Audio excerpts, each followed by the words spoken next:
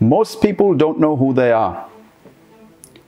It's a fact. Most people think who they are is their name. They think their nationality is who they are. They think their religion is who they are. They think their culture is who they are. They think their occupation is who they are. Here is the interesting thing though. Did they pick their name? Did they pick their nationality? Did they pick their religion? Did they pick their culture?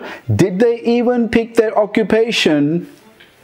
Or were they influenced by society to pick their occupation? Think about that for a second. The number one reason majority of people fail is they don't know who they are. They actually don't know who they are.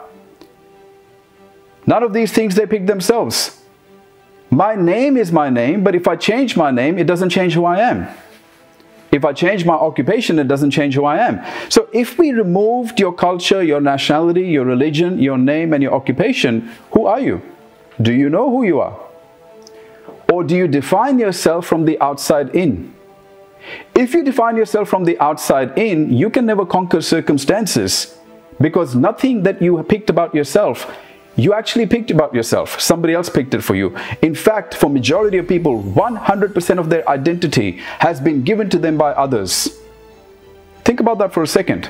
If you don't know who you are, what is the basis of your decisions? How do you make decisions?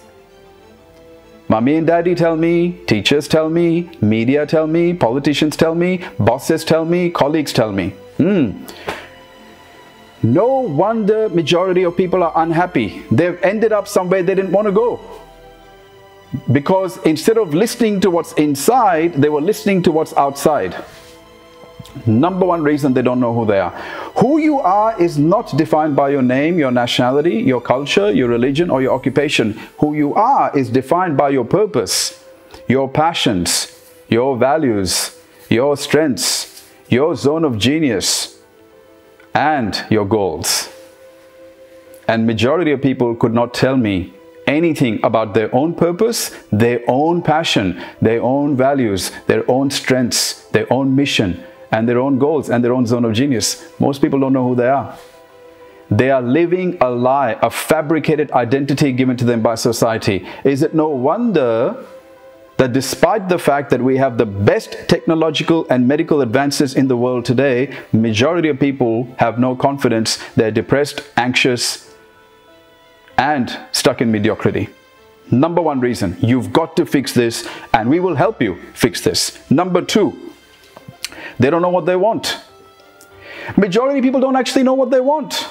They have never asked themselves the question.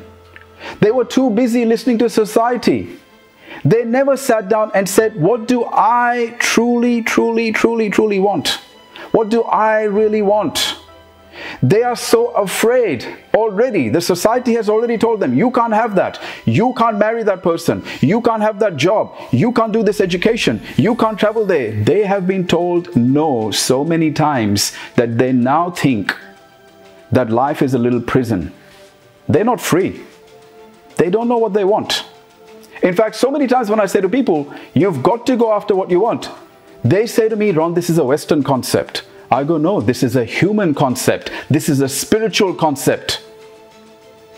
This is a spiritual concept. No human being in the world has the right to take your freedom away.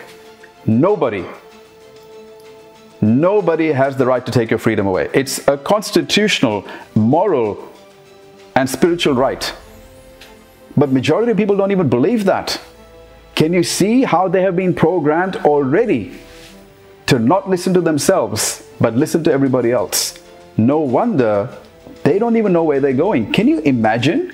Can you imagine getting in a boat or a car and not knowing your destination?